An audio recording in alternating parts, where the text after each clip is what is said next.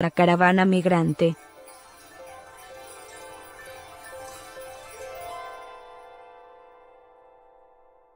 Con banderas mexicanas de distintos tamaños, los manifestantes se treparon en lo alto de un monumento y al amparo del México, México, y Tijuana, Tijuana lanzaron consignas en defensa de su país y de su ciudad.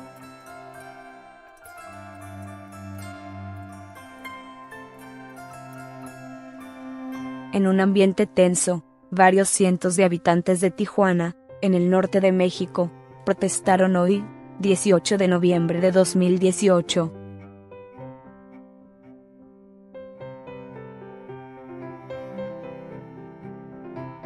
contra la llegada de caravanas de migrantes centroamericanos que quieren pedir asilo en Estados Unidos, mientras que el presidente estadounidense, Donald Trump, tuiteó que se trata de una invasión.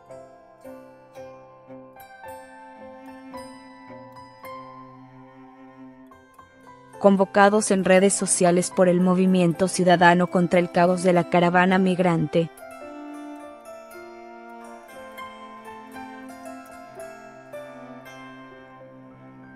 Poco más del centenar de personas se reunió en la glorieta Cuauhtémoc de Tijuana, al tiempo que se cancelaba una manifestación de apoyo a esta caravana que salió hace un mes de Honduras.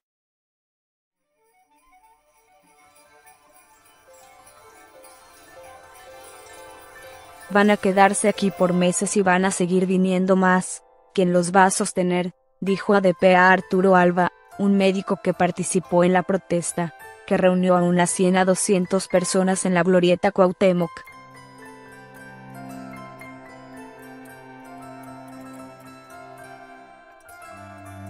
Unos 2.500 migrantes centroamericanos, entre ellos mujeres y niños, que salieron hace un mes de Honduras, se encuentran ya en Tijuana alojados en un albergue en el Centro Deportivo Benito Juárez.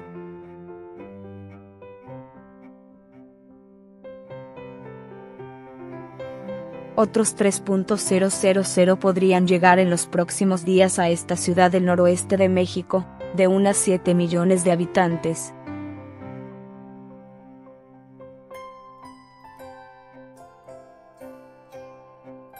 Jornada de limpieza en las calles.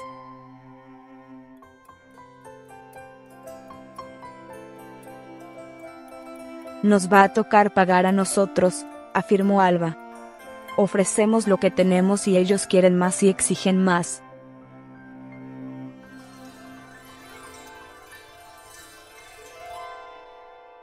Se quejó.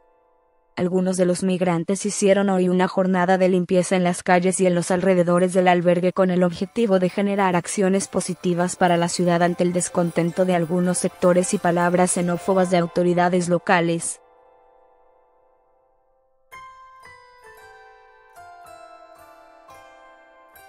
Los migrantes entraron violando la soberanía mexicana y humillándonos. No vamos a permitir que ellos se queden y entren como quieran a México y Tijuana por una mejor Tijuana no debemos permitir que venga delincuentes acarreados.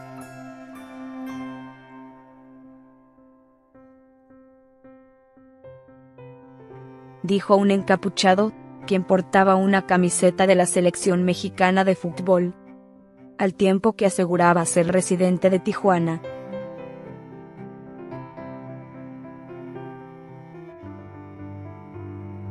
aseguraba que en esta ciudad no estamos en contra de que un migrante quiere progresar, lo único que se pide es orden y que respete la ley.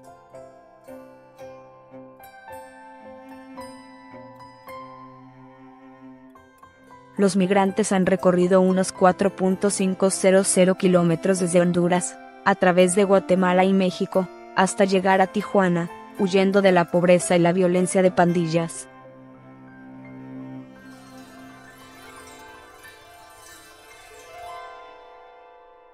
Otras dos caravanas más pequeñas pero también de miles de personas ingresaron después a México y quieren llegar también a la frontera, donde podrían pasar meses antes de poder solicitar refugio a Estados Unidos porque hay lista de espera.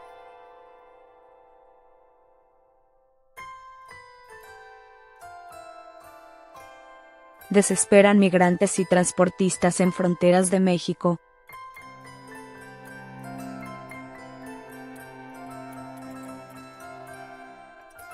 Motines en Tapachula y Tijuana encienden alerta, mientras en Juárez, Reynosa, Matamoros y Nuevo Laredo hay protestas y pérdidas económicas.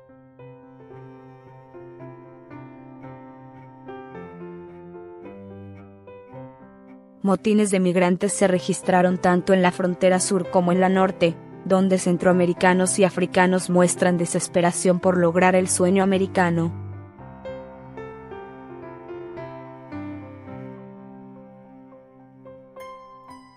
Mientras empresarios siguen reportando pérdidas económicas por la lentitud en los cruces internacionales.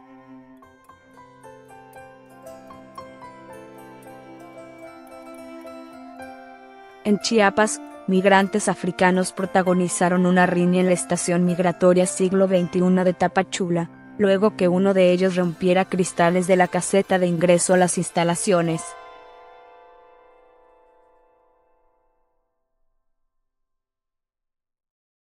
México y EU atienden tema migratorio.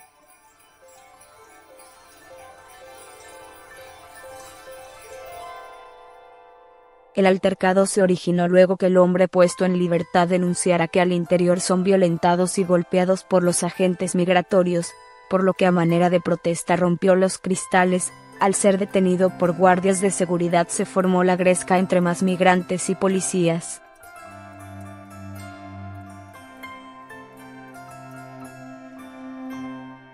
Además, una mujer africana discutió con los agentes y luego se empujaron entre sí, lo que generó que otro grupo se acercara a la reja de la estación migratoria para jalarla, abrir la puerta y permitir que su compatriota saliera, lo cual intentó ser evitado por los guardias.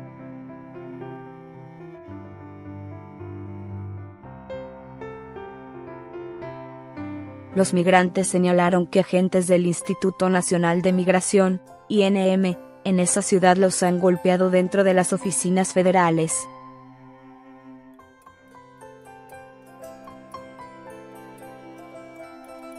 En el otro extremo del país, en Tijuana, el pasado lunes 51 personas fueron evacuadas de las instalaciones del INM, ubicadas en el fraccionamiento residencial.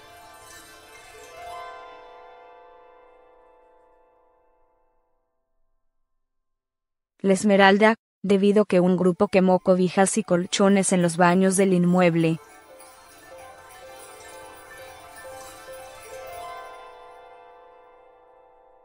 el titular de la Secretaría de Seguridad Pública Municipal, Marco Antonio Sotomayor Amezcua.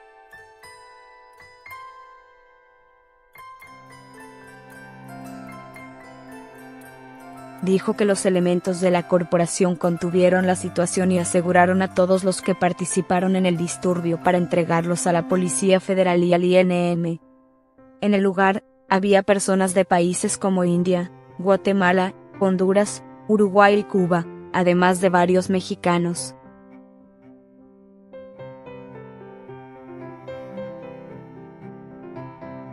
Más tiempo de espera.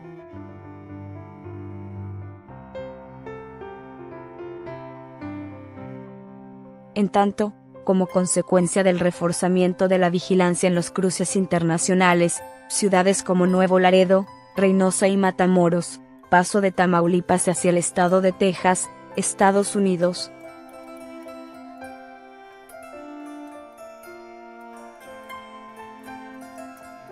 afrontan un caos vehicular que ha representando pérdidas de tiempo y dinero para las actividades comerciales en esta región del país.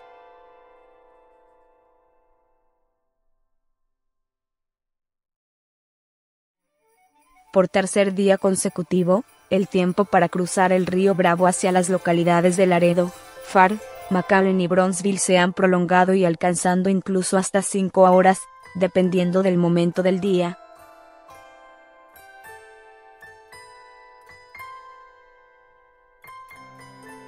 De acuerdo con Caminos y Puentes Federales de Ingreso, el problema obedece a las medidas que,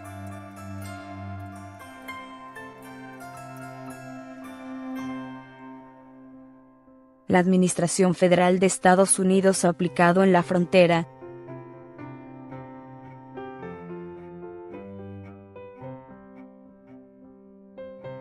como es el proceso de rotación de personal hacia otros puntos de la franja divisoria con México.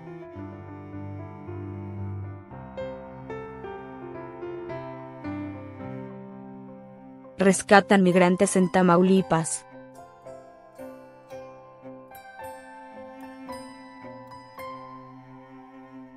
Julio César Almanza Armas, presidente de la Federación de Cámaras de Comercio, FECANACO, con sede en Reynosa.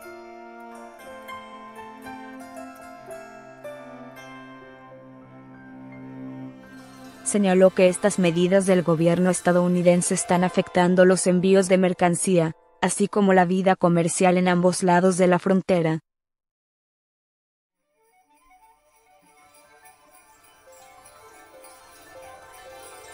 Llevan protestas a.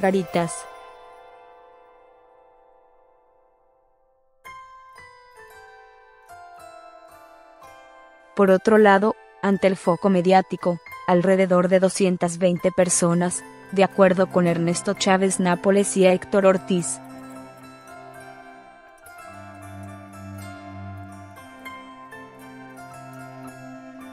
líderes de llanteros en Ciudad Juárez, se manifestaron en el puente Zaragoza, en la entrada de tráileres, para protestar contra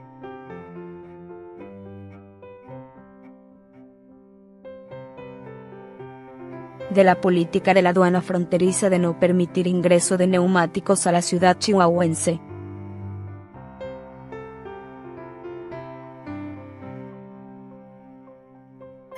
En Tijuana, tras la incertidumbre por el posible cierre de los pasos, Óscar Escobedo, titular de la Secretaría de Turismo de Baja California,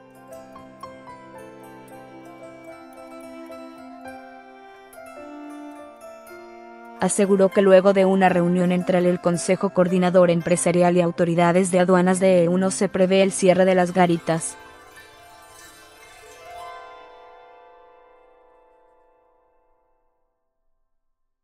legítima protesta de Trump por migrantes, habló.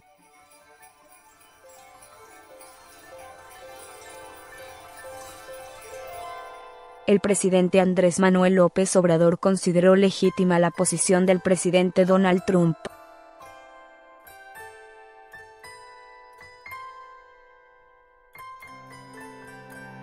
quien hoy nuevamente amenazó con cerrar la frontera, al señalar que México no está haciendo nada para ayudar a detener el flujo de migrantes hacia aquel país.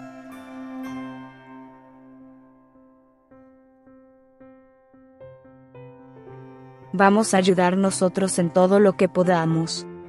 No queremos de ninguna manera confrontarnos con el gobierno de Estados Unidos, vamos a mantener una relación muy respetuosa con el gobierno y con el presidente Donald Trump, dijo el mandatario, en su conferencia diaria,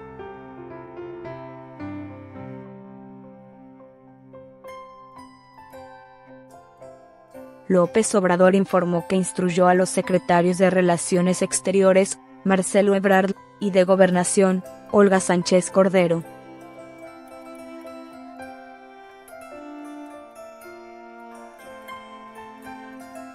para que ayuden con la demanda del gobierno estadounidense, y es legítimo que estén ellos inconformes y que hagan estos reclamos, nada más que nosotros tenemos una concepción, si no distinta, si con algunos matices.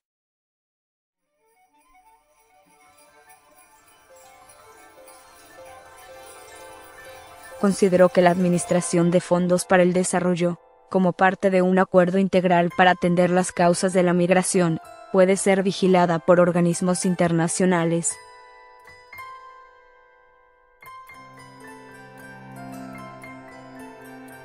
A fin de que no haya corrupción.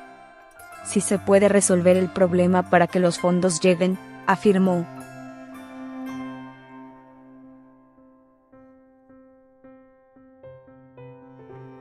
Desde luego, insistió, respetamos su postura y vamos a ayudar. No es decir, es un problema de Estados Unidos o de los países centroamericanos, no nos corresponde. No, vamos a ayudar.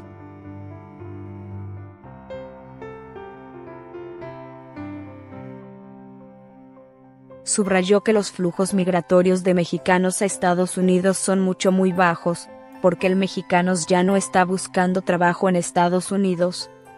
La mayoría son pobladores de nuestras repúblicas hermanas de Centroamérica, que no están siendo atendidos, no hay desarrollo.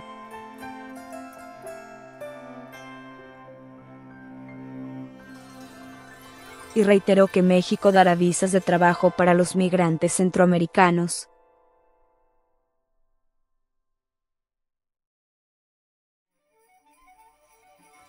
Se podría decir que respeta la postura de Trump, pero no la comparte.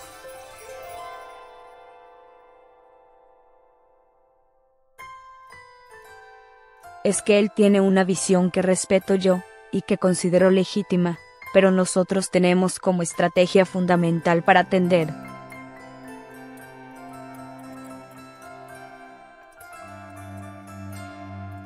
El fenómeno migratorio, la creación de oportunidades de empleo y de bienestar.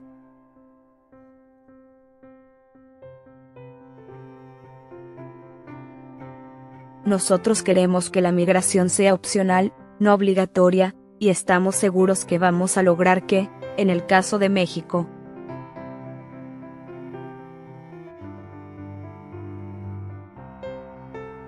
la gente no tenga necesidad de emigrar, porque va a haber mucho trabajo. Ya se están creando muchas opciones de trabajo.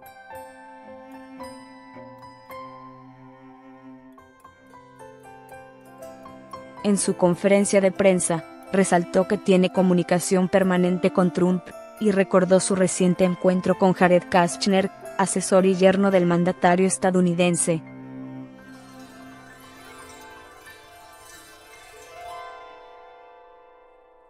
Se está atendiendo el tema, estamos insistiendo en que deben atenderse fundamentalmente las causas que originan la migración.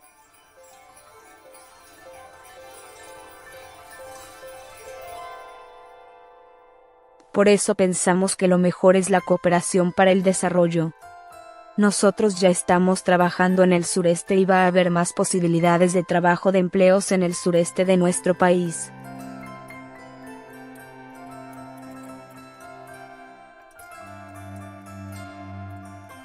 Pero se necesita atender el desarrollo en Centroamérica, porque la mayor parte de los migrantes son centroamericanos.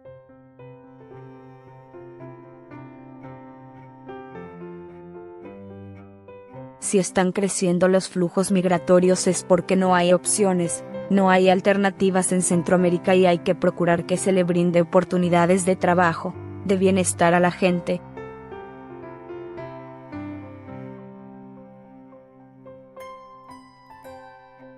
Planteo que también lo que pasan por territorio mexicano deben actuar con respecto a las leyes.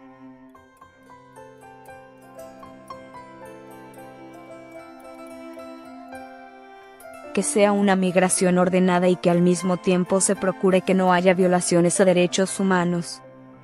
Todo esto también requiere que no se permita el tráfico de personas, que haya más cuidado de todos los países, no solo de México, y en eso estamos.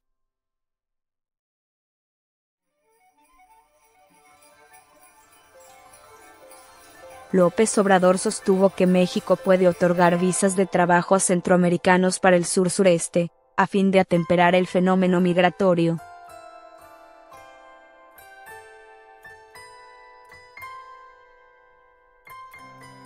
Lo hacemos por razones humanitarias, lo hacemos porque tenemos posibilidad de ofrecer empleos.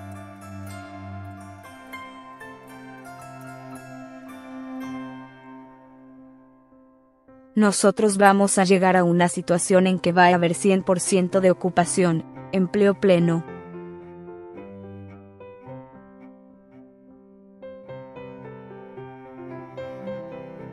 Por razones humanitarias podemos ayudar con empleo para temperar el flujo migratorio de centroamericano hacia Estados Unidos.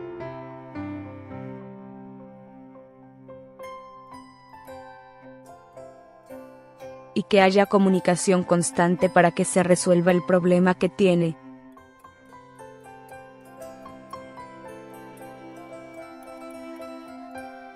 El presidente sostuvo a pregunta expresa que buscaría con visas de empleo que la caravana migrante no llegue al país vecino del norte,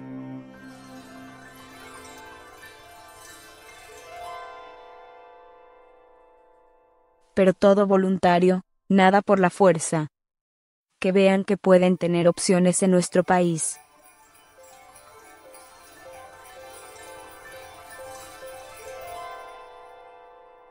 que también sea ordenado y revisar también cómo es que se organizan las caravanas.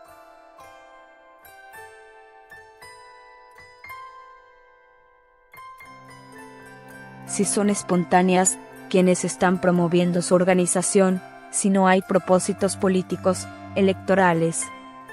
Poner al descubierto todo esto,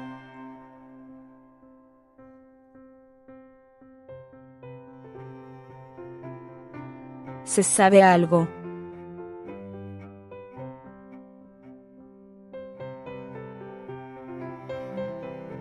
Es que hay tráfico de personas y hay intereses, porque también se trata del cobro por el traslado a la frontera y otras cosas.